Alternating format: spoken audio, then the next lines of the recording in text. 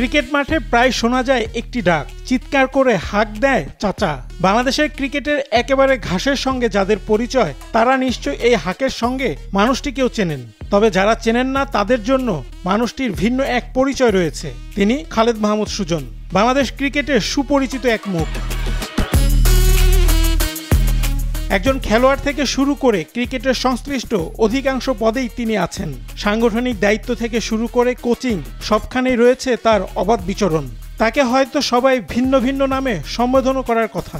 তবে একবিংশ শতাব্দীর শুরুর দুই দশকের প্রতিটি ক্রিকেটারদের কাছে তিনি চাচা হিসেবেই পরিচিত, যা ছড়িয়ে গেছে পরবর্তী প্রজন্মেও।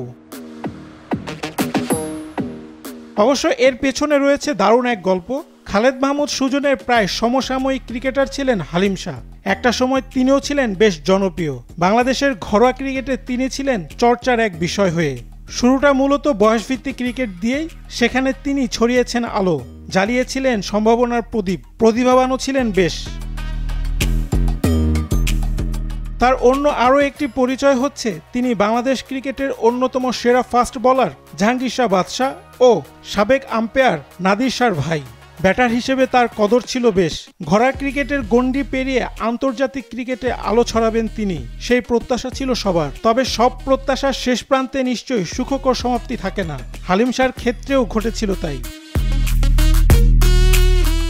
সেই হালিম শাহ মূলত চাচা বলে সম্বোধন করতে শুরু করেন খালেদ মাহমুদ সুজনকে। কারণ তিনি কোনো একভাবে জানতে পেরেছিলেন সুজন তার দূরসম্পর্কের চাচা।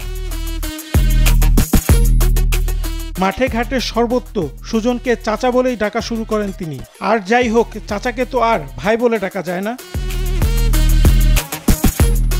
আফসোসের বিশাল এক পাহাড় বুকে চেপে দু হাজার পাঁচ সালে হালিম শাহ বিদায় নেন ক্রিকেট থেকে। তবে তিনি যাকে চাচা বলে ডাকতেন, তিনি ক্রিকেট ছেড়েছেন আরও এক বছর বাদে। খালেদ মাহমুদ সুজন দু হাজার ছয় সালে ক্রিকেটকে বিদায় জানান।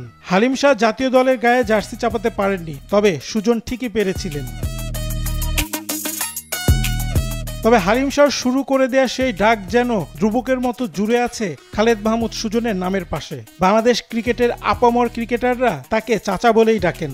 সেখানে প্রজন্ম কিংবা বয়সের কোনো বালাই নেই। দুজন এখন ভিন্ন পথের প্রতীক। ক্রিকেট পাড়ায় হালিম শাহকে এখন আর তেমন একটা বিচরণ করতে দেখা যায় না। তবে তার ফেলে যাওয়া চাচা ডাক রঙের আভা ছড়িয়ে এখনও রয়েছে বহাল তবিয়তে। রায়হান রাসেল কালবেলা।